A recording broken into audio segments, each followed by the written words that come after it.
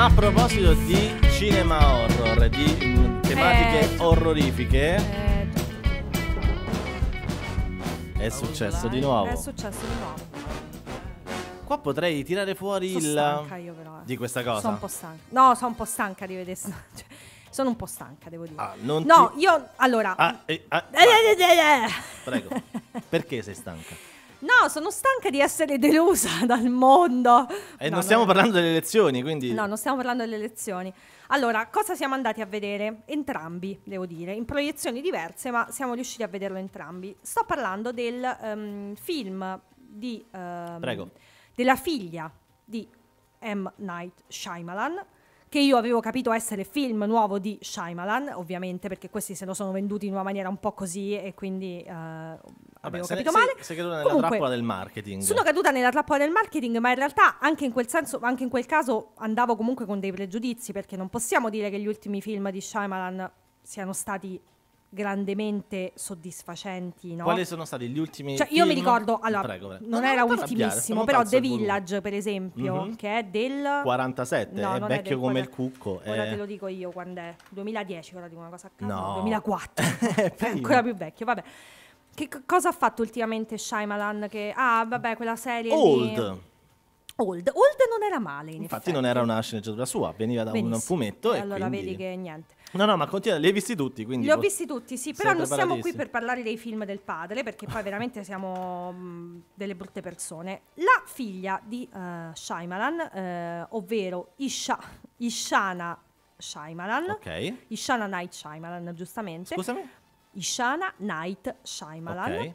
ehm, si è eh, cimentata con la sua prima regia. Evviva. E la sua prima regia è un horror. Benissimo. Ora io dico, già questo Cosa? è un azzardo. Sei la figlia di Shyamalan, per carità, magari è il tuo mondo, magari ti piace solo l'horror, magari pensi di essere particolarmente portata. Certo, devi sicuramente eh, avere sulle spalle, dovrai avere sulle spalle il confronto con la filmografia di tuo padre. Questo mi pare è ovvio, purtroppo, nel senso che io vorrei eh, che questo non accadesse, ma tant'è.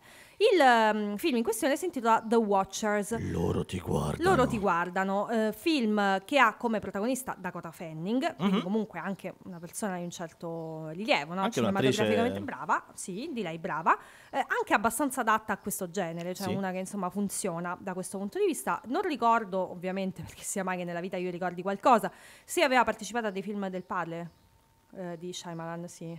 Non mi guarda Ah, con quella faccia eh, sconvolta. No, perché parlavi della figlia. No, No, Dakota Fanning. eh. Non mi sembra. No, non credo. Però sicuramente il corpo e anche la permanenza di questa attrice nella memoria dello spettatore e della spettatrice, cioè Dakota Fanning è una, eh, un'attrice che ha fatto il primo film due- eh, nel 2001, ma lei è nata nel 94, Eh sì. quando usciva Enemy of the State, tra l'altro. Esatto. Quindi è cresciuta letteralmente, professionalmente, ma anche il suo corpo è cresciuto davanti alla macchina da presa partecipando a film molto, molto noti Tra l'altro, davanti ai sore- nostri occhi. Tra l'altro, sorella di Elle, Fanning, se non sbaglio. Elle- esatto. E Elle anche Fanning, questo- anche lei attrice. Molto brava. Eh, anche lei attrice brava e eh, lei è la sorella grande, Dakota è più grande, Dakota è Elle più grande. piccola. Però nel testo, forse questa è una delle cose che lavora meglio, ma forse lavora meglio nelle persone che sanno questo retroscena. Perché dentro a eh, The Watchers c'è una storia di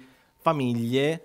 Ah, ok, ok, sto che- capendo adesso co- a cosa vuoi fare riferimento, ma non lo diremo perché roviniamo un po' tutto. Comunque, fatto sta che eh, la protagonista è Dakota Fanning, che è una ragazza, diciamo, eh, dal, mm, che non ha fatti i conti, come spesso succede, col proprio passato, perché ha avuto insomma, un evento tragico del passato e quindi si porta dietro un gran senso di colpa.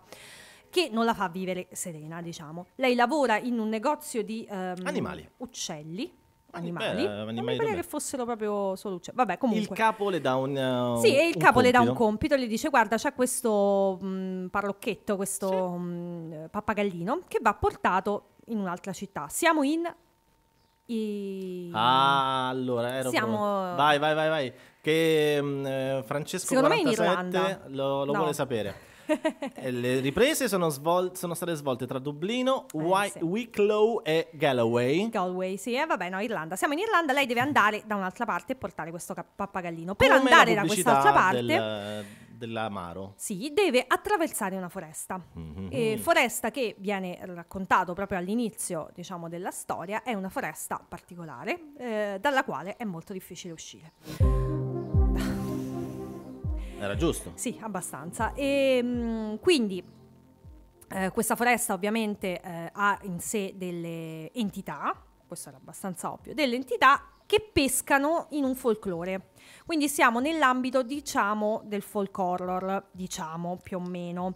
Nel senso che ehm, c'è questa branca, diciamo, del- dell'horror, che tra l'altro ultimamente sta anche avendo abbastanza successo, che pesca nelle tradizioni folcloristiche, e, e ovviamente le, le lavora in, mm, in maniera orrorifica. Funziona anche abbastanza perché ovviamente, come sappiamo anche con il folklore italiano, le radici, diciamo, culturali spesso sono nere, no? Sono molto scure, anche le favole hanno una radice molto scura, molto eh, spaventosa. Io sto cercando il, esattamente qual era l'horror che aveva al centro la fatina dei denti. Sì, eh, tu, eh, Vedi che tu- sei- qualcosa- non mi ricordo, sì, esiste. Sei comunque. preparatissima. Vabbè, fatto sta che mh, questo horror, eh, perché The Watchers, mh, vi spieghiamo perché poi nel trailer si vede, a un certo punto eh, questa ragazza si trova in, in compagnia di altri tre sfigati come lei, che sono in qualche modo bloccati dentro a questa foresta, in una casa, ehm, una casupola che viene definita The Coop, ovvero il covo. Copo. E in questo covo eh, c'è una parete eh, trasparente eh, in cui, mh, eh,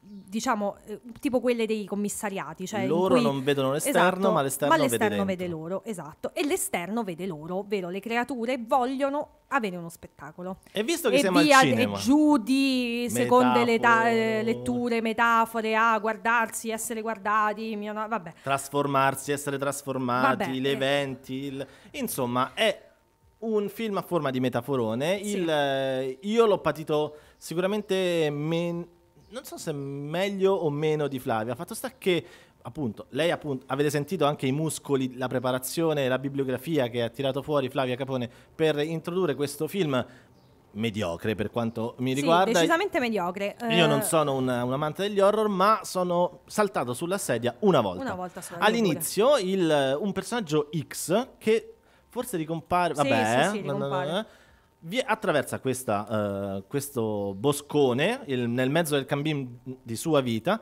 viene, ehm, viene sorpreso da una Un corvo, un un- uccello che gli degli viene uccelli che partono, eh, lo, attra- lo investono di lì- colpo. di e vabbè, colpo. non te l'aspetti e ti spaventi, questo è eh, la- l'unica Jump cosa. scare, uno. Allora, sì, paura non fa paura, per quanto mi riguarda, pochissima paura. Ehm, è davvero, eh, si, si percepisce un'impronta, un'estetica eh, alla Shyamalan, sicuramente. In particolare, vi dicevo, eh, lo Shyamalan eh, di The Village, per esempio, che era Mhm. questo, eh, questo film, tra l'altro anche con una storia abbastanza simile, cioè Mhm. con una foresta dalla quale provenivano dei, eh, delle creature e poi aveva, penso, uno dei finali più brutti della storia, cioè più deludenti degli horror che abbia mai visto. Cioè che io sono arrivata alla fine, ho guardato lo schermo e ho detto perché? Ma Perché è accaduta questa succede cosa? Spesso. Sì, ma quello proprio, mi ricordo proprio il finale, perché ero, Mm. ero quasi contenta la- dall'inizio, poi dopo... Vabbè, insomma, La prendi un po' troppo sul personale. No, non la prendo sul cinema. personale perché credo che sia invece una cosa importante. Eh, peccato perché comunque eh, avere l'occasione di eh, debuttare, forse avrei cercato un'estetica un po' diversa da quella di- del padre, cioè avrei cercato di staccarmi di più, mh, ammesso che eh, ne fosse in grado, ne fosse capace. Vediamo che Allora. cosa succederà in futuro. De- bisogna dire che dal punto di vista registico è l'esordio alla regia. Eh, dal punto di vista registico, cioè estetico non è neanche male secondo me. Cioè, Lei la ha della lavorato- fotografia, non so chi è il direttore o la direttrice della fotografia, quello si può anche... cioè non è male, no? È Haley Aronson. Ah, una donna, vedi. Non... non ehm, Eli, forse. Vabbè, Però il, il discorso eh, è che tutto il film un po' si sfilaccia sul- sulla lunghezza. La- dal punto di vista estetico ci sono alcune eh, idee che eh, vengono sicuramente da, da qualche esperienza in più del, ha fatto il film col papà, però c'è da dire che la filmografia ehm, di eh, Ishana Night Sha- Shyamalan Shyamalan, Shyamalan Shyamalan. eh, l'ho letto male. Il, eh, è effettivamente costellata da ehm, direzioni della- di seconda unità dei film di papà. Quindi possiamo scomodare il termine s- mh, sgradevole, però... Ovviamente Lai Aronson è un maschio, figurati se Esatto. non mi sbaglio. Nepo Baby. Eh, lei ha fatto però la, la- la regia della seconda unità sia di The Hold, il film che appunto vi raccontavamo all'inizio, quello sulla spiaggia, sia Cabin in... eh, no, eh, knock, eh, Knock at the Cabin, Sì. che in italiano è Bussano alla porta. Bussano alla porta. Che- Oh, madre, quello Eh? con coso, con, Con da Battista. Con Battista. Tu li hai visti tutti, Flavia, quindi per questo sei- eri estremamente... eh. Lei è anche la eh, co-sceneggiatrice, co-sceneggiatrice di un adattamento cinematografico, il, il The Watchers, è l'adattamento cinematografico del, di The Watchers di I Am Shine. È un libro. È un libro. È un libro. Quindi, Quindi- neanche a dire, perché la storia poteva pure essere interessante, neanche a dire è quella, alme- almeno hai fatto quello. No, anche la storia è presa da un libro. Quindi ragazzi, non so che... Anche The Visit. Vabbè, ehm, Vedo che il libro ha anche un... un po' deludente. Io sono un po' delusa. Un, um, Un po' delusa. un sequel, un prequel, ha un proseguimento. Quindi è al cinema, potete Beh, andarlo a proseguimento vedere. ci sta sicuramente perché il finale è aperto. Allora, facciamo così. Quindi- Visto che siamo nella settimana di cinema in festa, vale 3,50 euro? Oddio, se vi piacciono gli horror potreste fare un tentativo magari per averlo nel, nel palmarès, cioè nel, come si dice, nel- nelle- negli horror che avete visto, perché uno cerca di vederne il più possibile, no? Secondo me. Eh, non lo so, dimmi tu. Come la collezione di figurine. Ah, così. Vabbè. Ah sì, perché no? Io invece vi consiglio il- di andare a vedere il film che No, allora, meglio, meglio The Watchers. Meglio The Watchers. ne parliamo subito dopo gli Smashing Pumpkins.